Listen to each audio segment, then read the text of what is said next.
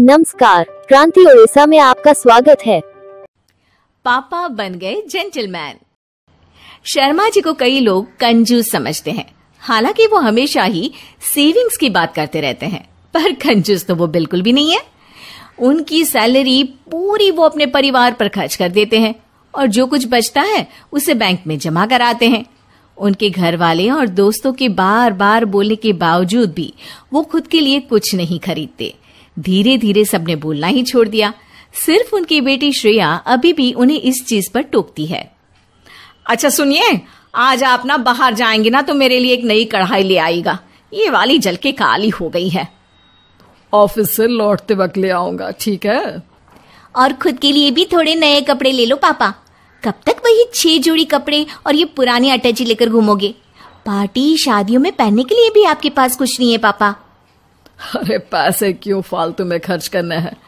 ये कपड़े ठीक तो है और पार्टीज़ और शादियों में वो मुझे बुलाते हैं ना कि कपड़ों को। देखा श्रेया तुझे बोल बोल के थक गई हूँ। तेरे पापा को कोई नहीं समझा सकता। श्रेया तुम्हें कुछ चाहिए तो बताओ।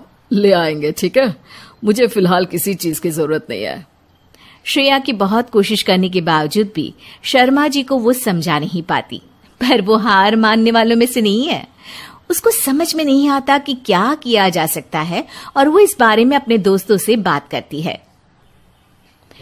यार, मुझे समझ में नहीं आ रहा कि क्या करूँ कि पापा थोड़ा खर्च खुद पर भी तो कर ले। अरे, ये तो अजीब है। एक आदमी इतनी मेहनत करके पैसे कमाता है पर खर्च नहीं करता। तूने अंकल से जिद करके देखा क्या? हाँ यार, सब करके देख लिया। मैं उनसे अगर गाड़ी भी मांग लू ना तो मेहनत करके वो भी मुझे ला देंगे। पर परसों मैंने उनके लिए अस्सी रुपए की आइसक्रीम मंगवाई थी तो उनके गले से वो भी नहीं उतरी। अरे सुनना मेरे पास एक आइडिया है पर उसके लिए थोड़ी मेहनत और थोड़ी एक्टिंग करनी पड़ेगी। तू रेडी है क्या ये सब करने के लिए? हाँ हाँ ठीक है। तेरा आइडिया भी ट्राई करके देखते हैं ना। श्रेया और उसके दोस्त एक प्लान बनाते हैं। प्लान की तैयारी भी कर ली जाती है। अब बस बारी है श्रेया की। प्लान को पूरा उसे ही तो करना था। अगली सुबह जब शर्मा जी बाथरूम में नहा रहे होते हैं ऑफ़िस जाने से पहले शर्मा जी के बॉस का फ़ोन आता है जो कि श्रेया उठाती है। शर्मा जी के बाथरूम से निकलते ही श्रेया उन्हें बताती है पापा आपके बॉस का फ़ोन आया था। वो आपको किसी मीटिंग के लिए राज होटल में बुला रहे हैं। क्या? राज होटल? वो तो बहुत महँगा है। हाँ और उधर का एक ड्रेस कोड है। आप कुछ भी पहनकर उस होटल में नहीं जा सकते पापा। अच्छा। हाँ चलिए मैं आपको लेकर चलती हूँ कपड़े लेने। श्रेया शर्मा जी को शहर के एक जाने माने टेलर के पास ले जाती है जहाँ वो उन्हें समझाती है कि राज होटल में जाने के लिए उन्हें सूट कोट जूते बेल्ट सब चाहिए। वहाँ वो अपनी चप्पल पहनकर नहीं जा पाएँगे। शर्मा जी थोड़े डरे डरे से कपड़े सिलेक्ट करते हैं और फाइनली जब सिलेक्ट हो जाता है तब शर्मा जी को उनकी बॉस का फिर से कॉल आ जाता है। जी सर, मैं बस आज की मीटिंग के लिए कपड़े ही खरीदने आया था, सर। जी सर, वही मीटिंग जिसके बारे में आपने बोला था, होटल राज में। क्या आपने कोई कॉल नहीं किया ऐसा? ठीक है, सर, मैं यहाँ से जल्दी से निकलकर ऑफ़िस पहुँचता हूँ, सर। जी जी जी, ठीक है, सर।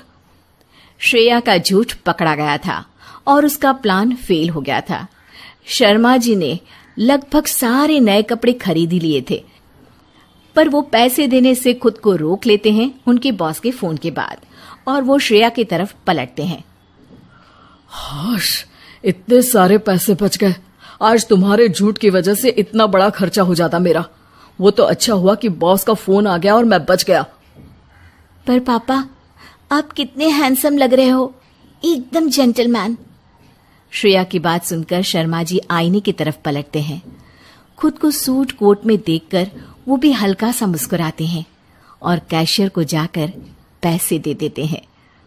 ठीक है तुम कहती हो तो इस बार ले लेता हूँ पर सिर्फ़ तुम्हारे कहने पर और सिर्फ़ इस बार।